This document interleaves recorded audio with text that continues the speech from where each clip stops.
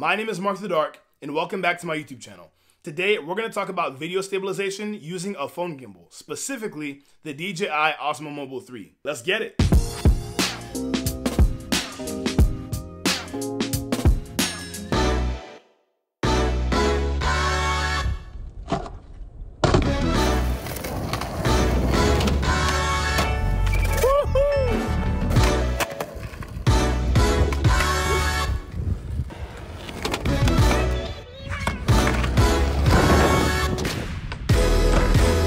Clip you just saw was me at the skate park recording two random people that I found, Dayton and John. They were really cool. They helped me out in making my YouTube video, which is really awesome. You'll see that the clips were pretty smooth and cinematic looking, and that's because of this.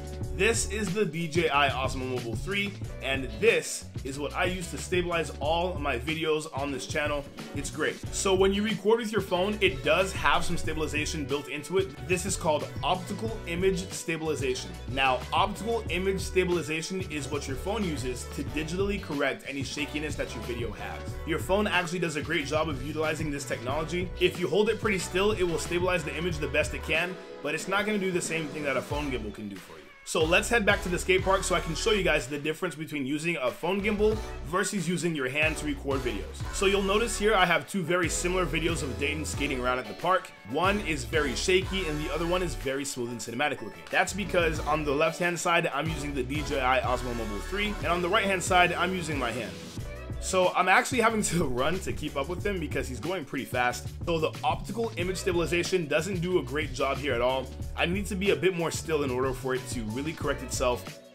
That results in the video being very, very shaky and unstable. On the other hand though, you'll see that the DJI, which is designed to keep the phone as stable as possible, does a great job. It's very smooth, it's very cinematic looking. Heck, it even looks professional compared to the video on the other side. Honestly, in my opinion, I think using a phone gimbal is the best thing that you can do to up your videography game because these two clips are just worlds apart. People are going to be able to tell the difference between a very shaky video and a really smooth looking video. That just makes you look good. So the DJI Osmo Mobile 3 has a lot of cool features. I'm gonna throw on my iPhone 8 Plus to it real quick. So now that the phone gimbal is on, I can show you the different cool features. Um, you have this button, which is the on button. If you tap and hold it, it turns on.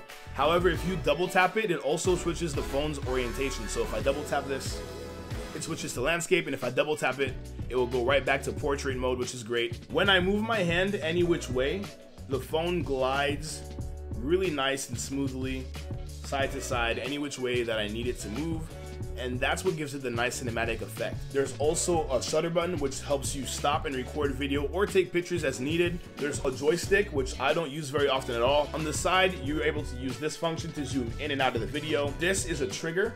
On the back of the trigger will actually align the phone if it's out of place. So if I double tap this, it will realign the phone, which is great. If you hold this button, it actually keeps the phone in complete place no matter how I move my hand. If I double tap and hold like this, the response rate will go up significantly so that way I can record things that are moving pretty quickly. I didn't use that feature at the skate park because I didn't feel like I needed to. The DJI Osmo Mobile 3 also has a lot of cool features with the app that it uses, which is the DJI Mimo app, and it has active face tracking, which I think is really neat. The active face tracking feature is pretty cool. You just select the area that you want it to track, and it does a pretty great job of tracking that area. I didn't move around too much, I just kind of stayed in my chair but if you're a bit farther away from the camera, it does a pretty good job of tracking. The DJI Mimo app also has this really cool feature that actually pieces together a story for you depending on what it is you recorded. It adds music. It's really like quick editing, but, but we don't we don't do that here. We we, we really we edit our stuff. We you know we do all of our editing on our iPhone. This by itself, I believe, is about 120 bucks. Um, I got it with the combo kit, so it came with a really cool case and a stand that I'm able to attach, which is pretty neat, especially if you're using the face tracking. Something else that I think is really neat about the DJI Osmo Mobile 3 is the fact that it folds up. So it fits into one of the notches here and it folds up. It's pretty compact. I can fit this in my pocket in most cases. It makes it easier to pack when I'm going places. It's great. Now my first gimbal was made by Skylabs. It's a great gimbal. I think it's something like 50 bucks on Amazon now. When I bought it, it was like it was almost $300. It was really expensive. Don't get things brand new. I mean, of course you want to get new things, but man, this does not fold up at all. It's really awkward. Having a phone gimbal, it puts your videos a world apart from people that use their hand to stabilize their images, which can work. It can work pretty well if you do it right, but it's not going to do the same thing that the DJI Osmo uh, Mobile 3 does or any other gimbal does. I will add a link in the description below so that way you guys can check it out. I will also put a link to the video that I shot with the DJI Osmo uh, Mobile 3, my cinematic video in San Francisco. If you haven't already, please subscribe, like, and comment. We'll be doing a whole lot more videos in the future. I'll catch you guys next time.